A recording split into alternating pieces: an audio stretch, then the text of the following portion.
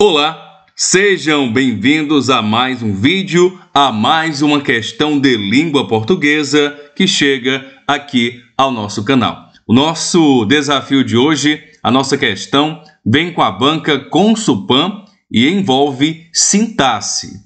Então você vai apertar pause, vai ler a questão com cuidado, com atenção, responder e depois, é claro, voltar para cá.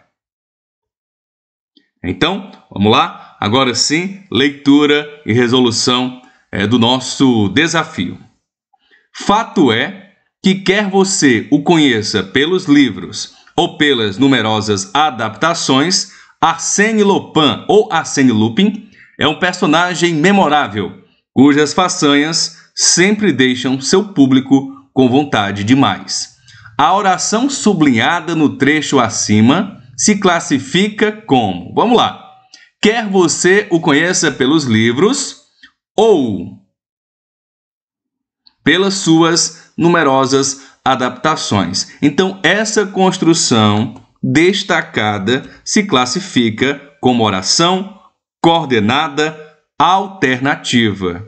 Gabarito, letra B, mas a gente não vai ficar só apontando o gabarito. Vamos lá se aprofundar e revisar um pouquinho mais é esse item, esse conteúdo. As orações alternativas são um tipo de oração coordenada que expressa uma ideia de alternância ou uma ideia de opção. Elas ligam duas orações em que a segunda oração expressa a equivalência ou a incompatibilidade da ideia que é iniciada na primeira oração, né? Indica justamente essa alternativa. As conjunções alternativas mais comuns são o ou, né? Que é utilizado aí é, no nosso enunciado, ou ou, ora ora, quer quer, seja seja, nem nem, né? São alguns exemplos de conjunções é, alternativas. Então vamos ver aqui alguns exemplos de outras situações onde também temos essas conjunções né, atuando e transformando a situação em alternativa. Ficamos em casa ou vamos à praia. Ora é legal, ora é irritante. Quer ele fique, quer ele vá, eu irei embora.